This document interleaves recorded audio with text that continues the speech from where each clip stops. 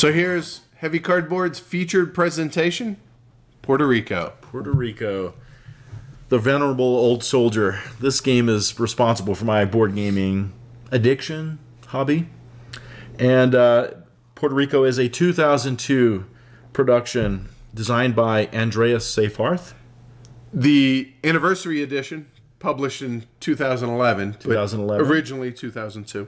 2000. The artist is Franz Vohwinkel. Is he the same artist? Nope, different the- artist. It is. But there are three different artists for the uh, anniversary I edition. I did not know that. Yep. Awesome. Publisher Rio Grande Games and about Yep. alea billion and others. yeah, exactly, You know, right. so it's a two to five player game that takes a couple hours, give or take, with a player count. Availability and cost for Puerto Rico is uh, for this edition, the standard edition, is about thirty-two bucks uh, online. I've seen it. Forty-four ninety-five is manufacturer suggested retail price. And the uh, anniversary edition's a little bit more. Little um, bit. If you can find it, um, if you can, two to three hundred online. Hmm. Uh, usually, uh, like in the on Board Game Geek on the on the marketplace there, Sure. people are reselling it. Not hard, not easy to find anymore. Apparently, uh, I think people saw it online for sixty bucks when it came out. Wow. Yeah. Uh, for plays and player counts, I've only ever played three to five player counts. Same here. Just numerous ones over the years, but I've I've never played two player. You know, I the funny thing is, is the the two player official variant actually came in the anniversary edition. I've yet to play it. I've heard that it actually plays Same. I've heard pretty well. Um, now you are the very much the experienced player when it comes to this, as far as the two of us. Sure. I've played it anywhere either five or six times. That's it. Mm-hmm. And I should note, I first played this about a year ago, so I am way late to the party. Better late than never, I guess. Well, absolutely, and it's it's and it'll come through throughout our review. But um, my enthusiasm for the game is still very high. Awesome. So yeah, Scalability for the game, I think, is, is quite fine. The sweet spot's four, but three and five is fine in my opinion. absolutely, and they play differently, Uh, oh, yes. um, which Oh, we'll get into. But yeah, I think it scales, and like we said, apparently two player as well. Um, but I mean, It's not a two player game if you ask me, probably. I- I'm willing to give it a try and find out. Okay. I guess I'm not, since over the years I have not done so. All right, so as usual, we don't really teach how to play a game, especially a game like Puerto Rico that's got so much media out there on how to play it and No doubt. when to play it and why to play it. So we're going to just touch on a couple of things that uh, make the game. Uh, well, a couple of things that will make our points about the game Makes sense. make sense. Sure. Have some context. Yeah. So, roles. The game's a role selection game, and that's the gas that fuels the engine of this game. Every turn, beginning with the governor, players are going to select a role for that turn. Everyone will do the action that comes with that role, beginning with the player that selected the role, and that player is going to get a little special bonus, a little extra vigorish on top of that action that the that the role provides. For example, the builder. If I select the builder, everyone's going to get to build, but I'll get a one coin discount in my building. which can be significant. Absolutely critical, even. After the end of a, of a round, the governorship will rotate, so everyone will get to be the governor numerous times and have the first selection of roles during the game. And the roles are basically a builder, a prospector, a captain, a craftsman, a mayor, a trader, and the settler. Trader, as in trading goods, not Trader. right. Got not, Not Tor. Right. There are uh, plantations in the game. You have your little player mat, each one, and it- and it's half divided into the city of San Juan and half divided into a wilderness area that you're going to cultivate little plantation tiles in. And these are going to produce the crops that you're going to sell either raw or processed in the market or ship them away. There's corn, which is never processed, only traded raw. And there's indigo, coffee, tobacco, and sugar, all of which are processed in specialized buildings in San Juan before they can be sold or traded. And all thematically, historically accurate. Very cool stuff. There's also a quarry that you can put down in your plantation area, which produces stone. And that just functions as a discount mechanism when you're building mm-hmm. buildings, you know.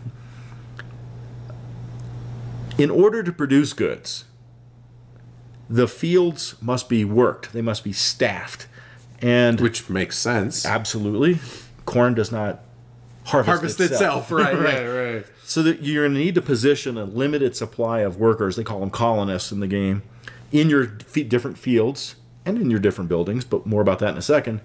In accordance with your strategy, whatever you're trying to produce, and it is a limited supply. So at first, you need to be really careful about where you put them. So the buildings, some of the buildings will process the, the raw crops into sellable, tradable goods, and other buildings will just grant you special capabilities during gameplay. For example, the indigo plant. What do you think that does? Uh, I got nothing. Okay. Makes indigo, right? Out, Right. of, out of your indigo plantations. Sure. But the small market gives you an extra doubloon when you sell goods in the marketplace, right? A key feature of the building buildings are their limited supply. Mm-hmm. And so if there's one you want, you better go after it. because there's never, not everybody in the game is going to get the same building. They're No. all purposely Right. limited less than the number of players. Exactly. And the buildings cost money, coins. Of course. The quarries are the discounts for those things. So getting a, a recurring income with some of your buildings and things is a pretty important little part of the game. And buildings were also a very important source of victory points at the end of the game. Which is the goal of the game. Yes, victory points. When a player has built 12 buildings, i.e., they have filled up San Juan, that's one of the end game conditions. So there's the colonist. And the colonists are the that resource that's required to staff both buildings and plantation fields in order to get your engine going. Some of the buildings can even take two or three colonists for a little greater productivity in the buildings.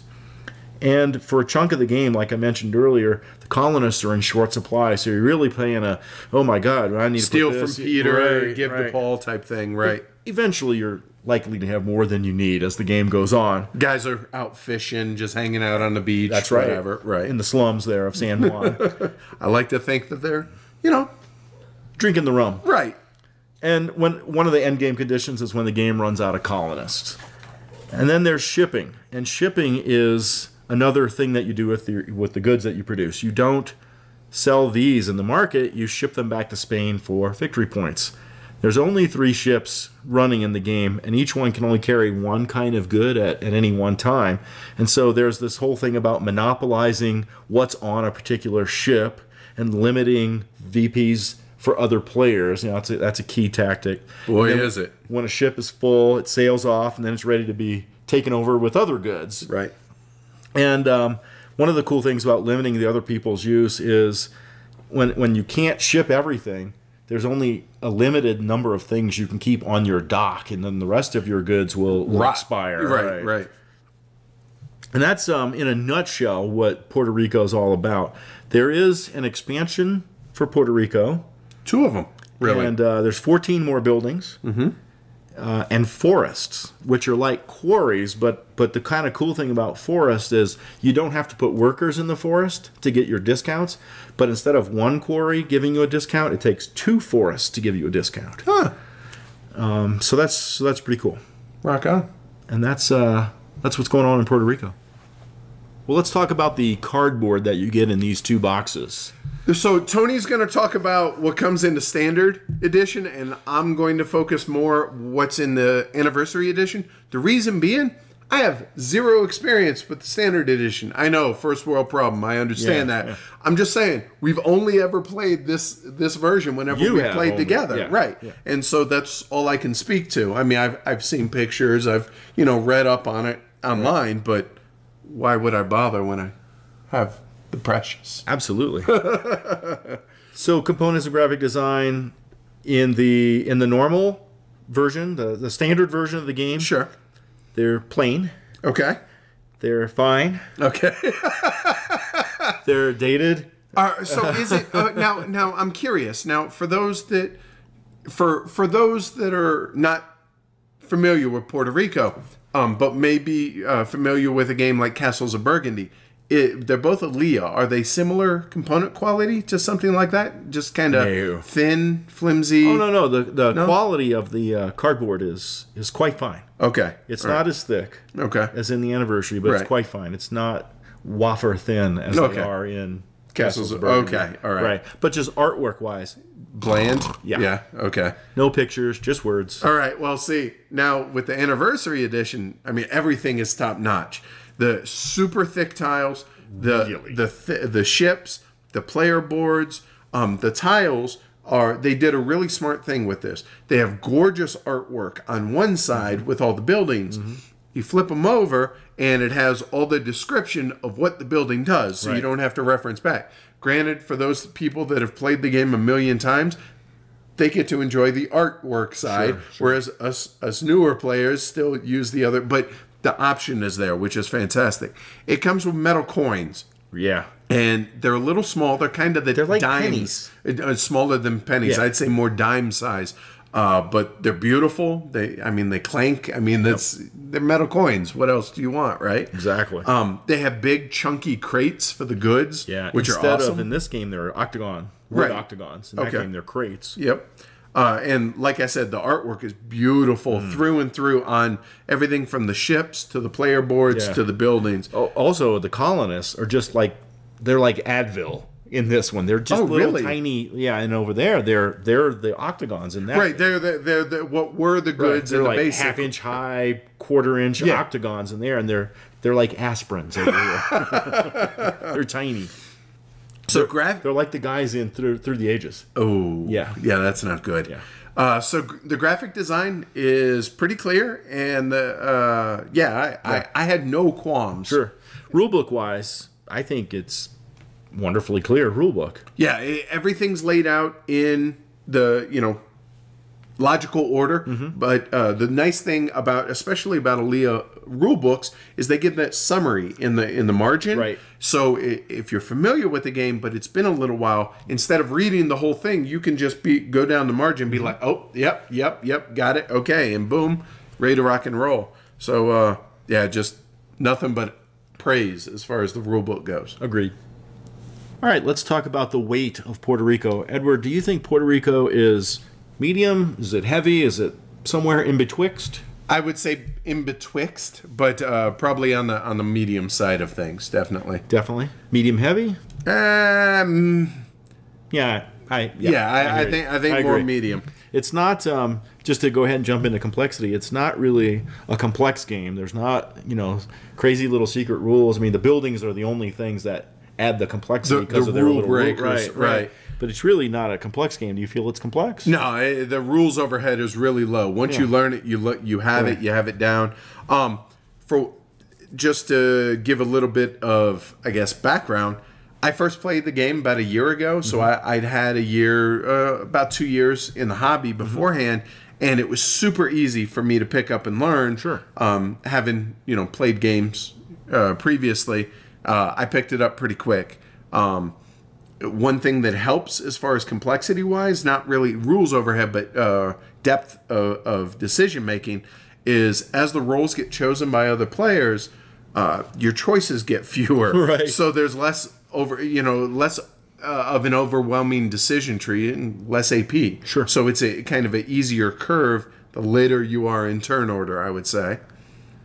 With uh, planning, what's your opinion on the planning required to play Puerto Rico? I I definitely feel like while you want to have one grand strategy in mind, it's a pretty tactical game uh, as far as there were a lot of different uh, orders or different ways. Let me try that again.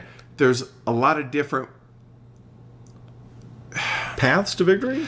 yes and no paths. but what i'm trying to go at is the order in which the roles can be selected can change so much there's yeah. so many so Well, much it's so variety as far right and exactly that's that's why And, and I agree. You know, you definitely there is some planning involved because you want to, you know, figure out a certain path through the game where it's going to be, you know, hey, is it corn or is it this or or what it might be.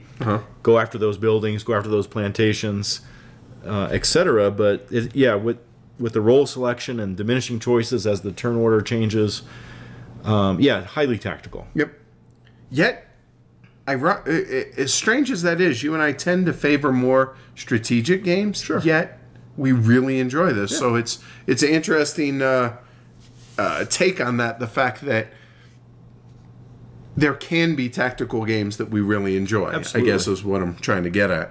So as far as luck and random factors, Okay. There's really one, isn't there? Is there anything else that I'm missing? There's the draw of the plantation tiles. Is there anything else that I'm forgetting? Other than obviously initial turn order, mm-hmm. whatever. But I don't think so. No, I think we're good. Yeah, very low luck Very in this low. game. Game length, I don't really feel is a, a factor to the weight of the game. You know, it's No, it it it's really pretty quick. it, it it's surprisingly quick mm-hmm. for for the weight of the game. It, mm-hmm. it plays fast.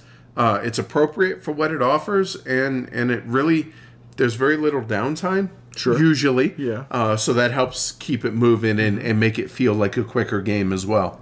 I think that uh, for a person, a newbie, to get it takes uh, a couple of rounds, seeing all the different roles and their interaction. That's exactly how what I have written down. Right. Yep. And um, because there are a few different, you know, paths through the game in terms of, oh, let's take these buildings and these crops. Yeah, kind of main uh, paths, strategy wise. Right. I think uh, multiple plays would reward a person, uh, a person's exploration of the game as well. Oh yeah, It- like you have to see the final scoring, just you know, counting up and and see those those victory point buildings at the end, um, and then you know you you see how badly you got destroyed Right. by experienced players, Right. Um, and then you learn, okay, what did they do? Right. Hey, that's something that I can mimic, or maybe that I I try and go hunt on my own. Um, but yeah, as far as getting it, few few rounds uh, just to see what the what the different roles do. I agree. Cool. Well, let's talk about what we enjoy about Puerto Rico. Well, it's the gold standard for role selection games, right? This is the mother of role selection. This Yes. is the one where they all come from, is it not? Yes. There's a lot of game, and it plays, you know, surprisingly quick. You know, eh, or relatively speaking, it plays quick. Sure. Um, very little downtime between turns, um, because okay, you selected the builder. we all get to We build. all get to do something. Right. You know, unless you don't have any money. or right, or or you choose not to. Choose not to. I always choose not to when I don't have any money. Right, but eh, whatever. Uh, timing means a lot in this game, and and I really like that. And I think that that's where a lot of the player interaction is, where you're trying to say minimize the player interaction by timing. I, I want to build when you cannot, right? You know those kinds sure. of Well, and, and that kind of jumps into what I have as my next note, which is the game's as much about making you lose as it is making myself Yeah. win. Or you know, it's there's. But there's no direct take that in this game, and so it's it's, it's positive negative interaction. right. It's it's really a unique you know animal in that respect. I, I don't believe, even though I have my own little San Juan and plantation area over Uh-huh. here, I don't believe that this is. I mean, you can't call this multiplayer solitaire because of that. I think Puerto Rico and Bigfoot are in the same. You know, it's a myth. Oh, I was like, where are you going with Bigfoot? It's a myth.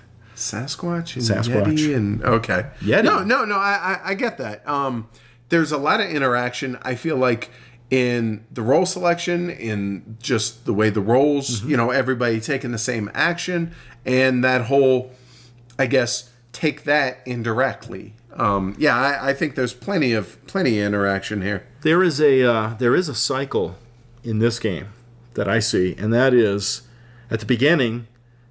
You know, you need to have some fashion of of earning some, re- creating some recurring revenue. Right. Building your economic engine. Well, uh, and specifically some money, Right. Revenue, right? So that you can get some buildings that are going to help you do all the other things that you need to do, in- including continue to enhance your revenue. And then you're going to focus, you're going to like switch on to victory point scoring time, you know, and start doing various things like that. And then you're going to decide when you should end the game. And if you're not the one deciding when you're going to end the game, you're probably not going to like it when it ends. yeah. Um, you messed up the first two things, right? yeah. Uh, quick to learn, hard to master. Uh, so if, if you're playing with experienced players, the good news out of that is you're going to get to see what works and what and what you did, Yep. why it Right. didn't work. Um, so there there's that uh, there's that feedback loop as far as oh this is why I got crushed early on. Kind of with that that skill is going to win out. Uh, effective focus strategies really are the order of the day. It forces you to develop different strategies as you play the game more that also evolve based on player count as well. Right on. I think that Puerto Rico is some awesome gateway material into heavier fare. That's what it was for me. It got me from Carcassonne being cool to like, whoa, There's a whole nother world. there's a whole nother there. world out there. Huh. You know, I always thought of this as more of a medium weight game, but I guess I could put it kind of with Le Havre in that respect that that has always been the one that I recommend as a gateway to heavier games. But no, I could see Puerto Rico being in the same vein. Uh, you know, light on the rules, but uh, deep as far as the decision matrix. Yeah, I, I dig that. Um, and kind of what I was fumbling over earlier was uh, the huge amount of role sequences. That's the word I was trying to go with. Um, it allows for a really a, a ton of brain burning decisions because you can try and look around the board and try and figure out what people need or what they don't need and try especially if you're earlier in the turn order try and map out and almost force their hand into what actions, what roles you want them to select. Right. Just by your astute, you know, uh, situational awareness of everybody else where they're at in their game. and all of those roles, with the exception of the prospector, they're just so so integrated and blended. That, and I think that's what is part of what makes what you just said possible. Even Sure. it's Um, like it's like you're setting them up yeah, the- for them to soft pitch to you, maybe. Right, exactly, and that and that's what you're trying to do. You're trying to either get them to throw you softballs or make it to where, like you said, oh, you don't have enough money to build. We'll go ahead and choose the builder, Right. That type thing. Um, yeah. Uh, on that note, speaking of the prospector, or or not necessarily the prospector, but just in general, how there's there's cash incentive for le- less chosen roles. How every after every round for every role that wasn't chosen, you added a bloom or a buck on Right, there, right. And at a at, at a certain point, the temptation is going to be too much to be like, okay, is that the most optimal move? Maybe not. But man, that's a stack of cash, and I'm I don't really need another indigo plantation, but I need that four bucks. right. You know, yeah. And that's that's pretty much it. Um, another thing, and a huge kudo, I guess, to the game design is outside of the occasional AP, uh, you know, role selection. There is real, very little downtime in this game. Yeah, if you're not paying attention, then you're gonna you're gonna screw up, make something, uh, make a suboptimal move, tee it up for someone else, for example. So you really need to be paying attention. There there should not be any downtime. You need to be paying attention, like you said, looking around the table. What do I need? What do they need? And making your decisions from there. Which obviously, your first game or two, you might not be doing too much of that. You're going to be pretty self-absorbed. Sure, sure. Um, You should be fully engaged once you're. Yeah, well, Competent. well, even when you're incompetent, you're fully engaged because Well, you're you're so worried about what you're trying to do in your own house. I dig that there's tons of variants. So, I mean, let's face it, Puerto Rico's been around what 13 years at this point, and some people have played this thing to death. Mm-hmm. I, thankfully, am not one of them. And so the the base game and the the the nobles and the building expansions, which again I've never played without those. Right. Um, so that's enough game right there before I go exploring. There are just a plethora, Hefe, of variants out there, like a four player to where it's a team game almost, game. and well, even with the with the expansion of the new buildings, there's a there's a way to like draft which buildings are actually in this game. which is how we normally play, which makes it difficult when you're when you're learning the game. You're like, I don't know, that sounds cool. We'll go with that one. Um, but it it keeps it fresh, and that kind of rolls into kind of some things that maybe we don't like, uh, but that some of the bor- some of the buildings are pretty bleh, you know, and so I'm looking at you, University. What? Is that- and so being able to draft the initial buildings with the expansion buildings and again talking about the anniversary edition because that's the only experience i have and that comes with both those expansions. You're drafting those buildings so those buildings that are there that you don't want in the game don't draft them problem solved right yeah, sure. Unless somebody else is playing, they want one of those in, and so well if you're they never going to get your full what you really want. oh sure sure but that's that's part of the draft it's not it's Yeah. not a tony draft it's a us draft Damn. yeah right So let's talk about things not to like in Puerto Rico. Yeah, so setup can be a bit lengthy, uh, especially when you're drafting what expansion buildings to use. Um, I don't think it's excessive, but it can be a bit, you know, more than your average game. Sure, I agree with that.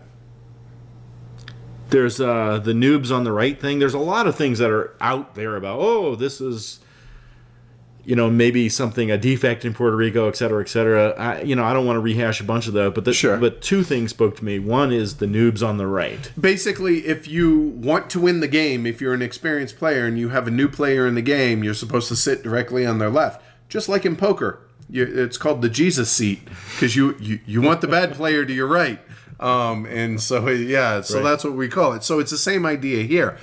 I'll be honest, having only five or six plays here, I've been the new guy. I played with you. I've played with Sweater Mike, um, and I haven't felt anyone take advantage of it. But I think as long as somebody is competent as far as just a gamer, they understand Yeah. the cycles that these get into and Yeah. what people are trying to manipulate them into, and they can find their way out of the paper bag. You know, I, I don't think the the hype about it is proportionate to The its- amount of hype. its real effect in the game. I mean, there's lots of games where players screw up the game balance. Right. Um, you know, one thing that you can do about it is maybe adjust your seating. Another thing you can do about it is how about explaining the phenomena to the new player Before the especially game. if they're a competent player, so Right. that they can be on the lookout and understand. So that and it, I understand that a lot of players want to experience the strategy and learn the game on their own, which we're not we're- talking we're- about right. giving them strategy. We're Sure. saying look, keep an eye out for this, and people Right. are going to try and push you in, in, in whatever, and just make them aware of, like you said, the phenomenon that the game is subject to, or at least accused Yeah. of, and yeah, and move on from there. Um, so I mentioned a little while ago, some buildings are better than others, but really. Drafting helps Mm-hmm. eliminate some of those buildings. So, okay, there's a problem. There's our fix, right? yeah, yeah, yeah. Um, so at this point, obviously, with this game being out so much, some people are going to be burnt out on Puerto Rico because they probably played it to death when it first came out, you know, in the early to mid aughts. And I would say maybe check out some of the variants out there and give it another go, you know? The other thing that spoke to me on the on the list was initial turn order. There apparently it's been statistically proven that starting with corn is a slight advantage, and it varies with player count. et Is that like white has an advantage in chess? And so um, there was a there was something they do in tournaments. I think is pretty cool. Mm-hmm. Bid victory points in half victory point increments and stuff for turn order. Problem solved there, I You want to be first? Might cost you two or three victory points at the end of the game. Interesting. And to be honest with you, we, I mean, even some of the games that we truly, truly love, we've played 10, maybe 15 times for the most part.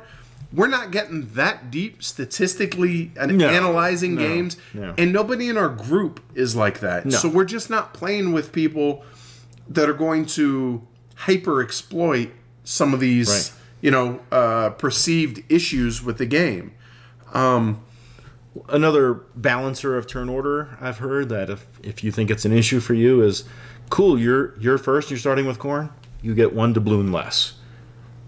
Offsets. Yeah. Okay. So like you said though, it's just never been a I'm not at that level. Uh, I'm happy to admit I'm just not This at ain't that level. 18xx. Right. Relax. Play the game. So with the with the huge amount of role selection sequences that are out there, uh, those prone to AP can bog down a little. Just get lost in Looking around the table. okay, what do you okay, and then move on to the next player. And in a, in a five player game, that can be a bit of an issue.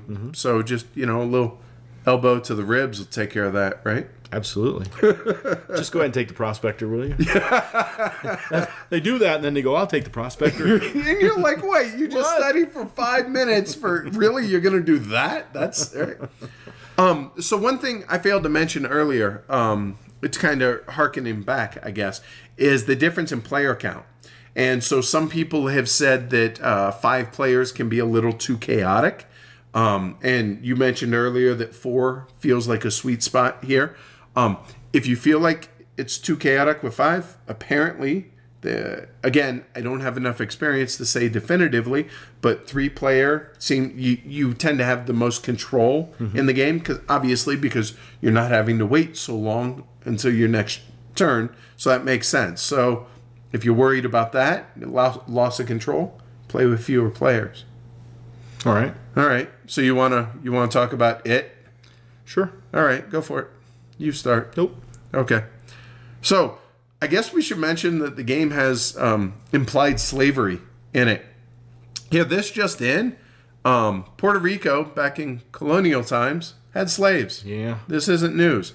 Slavery's terrible. Slavery's still going on. There is nothing positive whatsoever in any respect, in any way, about slavery.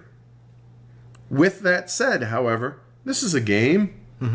Um, you and I are both war gamers as well. Uh, we like historical themes. Um, I have no problem with slaves being in the game, whether it's this, Five Tribes, whatever. It does, just doesn't bother me. It's it's we're not we're not.